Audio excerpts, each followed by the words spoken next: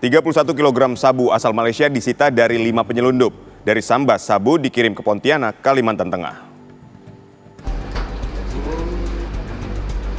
Tim gabungan menggagalkan penyelundupan lebih dari 31 kg sabu asal Malaysia dengan nilai 30 miliar rupiah. Sabu dikirim melalui jalur darat dari Kecamatan Paloh Sambas menuju kota Pontianak 3 Juni lalu. Dalam kasus ini, petugas menangkap lima pelaku.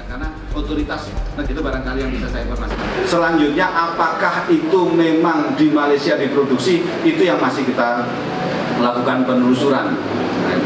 Ada juga sebagian informasi bahwa itu adalah dari Cina masuk mampir melalui Malaysia kemudian masuk ke kita. Selain sabu, petugas juga menyita sejumlah kendaraan yang digunakan untuk mengangkut sabu.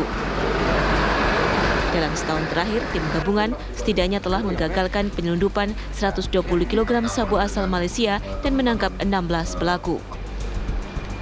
Baik, terima kasih. Nanti kesempatan Pak. Dari Pontianak, Kalimantan Barat, Tutpuri Handayani, Denny Mahendrata, TV One mengabarkan. Dari teman-teman TNI Pantas pada saat patroli ini.